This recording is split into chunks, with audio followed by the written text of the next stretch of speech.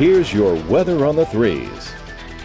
Temperatures running in the 70s across Acadiana, 71 in Jennings. You've got Lafayette at 73, 72 for New Iberia with Ville Platte coming in right around 68 degrees. Natchez, Alexandria, both at 67. A lot of clouds working their way across the area here this morning. Still dealing with some, some mugginess, some moisture that's lingering out there a front's coming through and it will interact with that moisture a bit, enough to kind of spark up a few spotty showers by the afternoon. A lot of that I think going to take place along and south of the I-10 corridor with the drier air sitting just to our, towards our west and our north. And that filters in as we get a little further into the afternoon and the evening. We'll be much, much drier tomorrow. It'll be much, much cooler tomorrow. 73 now, should be in the 60s tomorrow morning. A little bit of cloud cover out there with winds from the north northwest at 5 miles an hour. Dew point still sitting at about 70. It's been an incredibly muggy run of weather going all the way back to last week. We had all the showers, we had all that moisture, and dealing with a little bit of that out there again today. Again, you're still talking partly sunny skies, isolated showers. It's warm, it's muggy out there, highs up at about 86.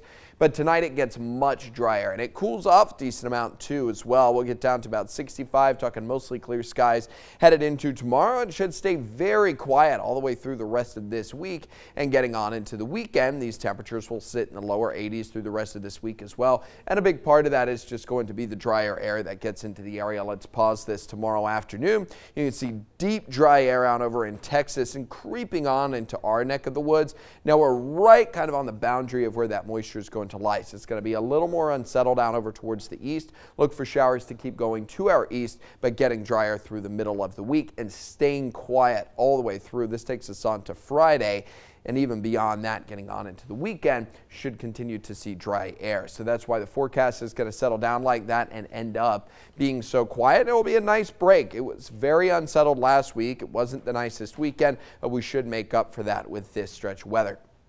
Again, your high today gets up to about 86 degrees, 65 for that overnight low. We'll go with a 30% chance of showers with improving weather through tomorrow and Wednesday. And even beyond that, we're looking pretty good for the extended forecast.